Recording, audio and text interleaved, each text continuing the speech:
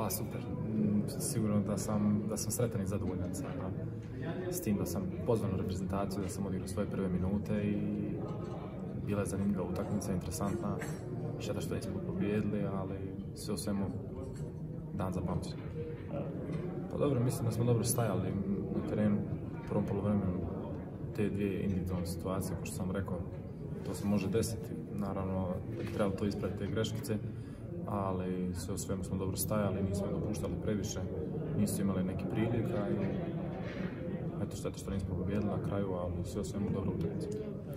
Ah, katastrofa, mislim, onaj, svakom nogometašu koji, koji voli igrati je, naravno, katastrofa da, da se to desi, 7 tjedana nisam trenirao nikako.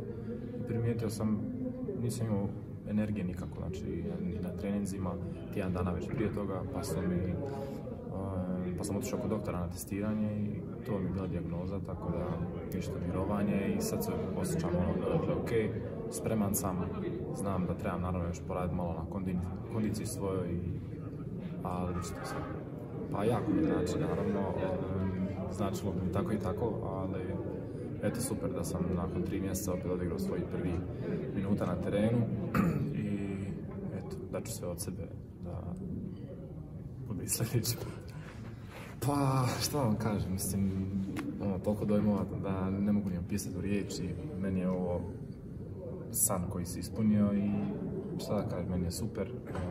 Atmosfera je top, dečki su svi korektni prema meni, svi su me dobro primili, tako da sve opušteno. Pa bio sam šokiran kada sam gol glavom, nisam očekivao. E, ne, ne znam se, mislim, znamo svi da je, da je Josip rekao veliki talenat i to je pokazao danas na terenu.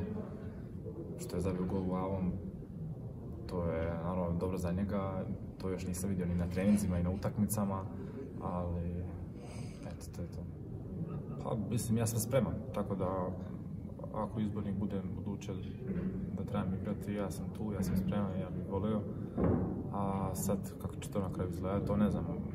Kako gledam na utakmice, mislim da su jako bitne utakmice za nas pogotovo Švedska i Portugal.